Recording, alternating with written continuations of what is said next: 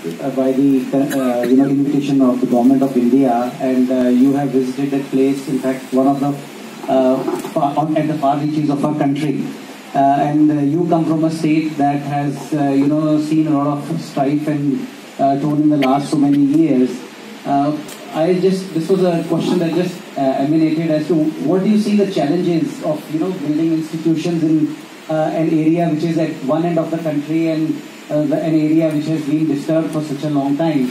Uh, do you see some similarities or differences or what challenges, you know, uh, institutions are facing at uh, these levels?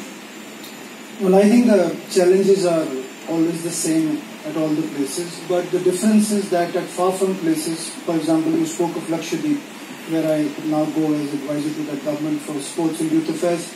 Uh, we have to start uh, primarily from the scratch because there are so many things that are not there. Uh, for example, if you have to put something to Lakshadweep, you'll have to ship it for three days till it reaches there. Everything goes up, the cost goes up, there is no technology you have to wait for the satellite to come to that size when your mobile phone starts working. Mm-hmm. So I think that is the kind of challenge which is there. But uh, primarily speaking, I'll pick on from three things that Professor Ayama, Professor Kaul and Mahajan Saab said.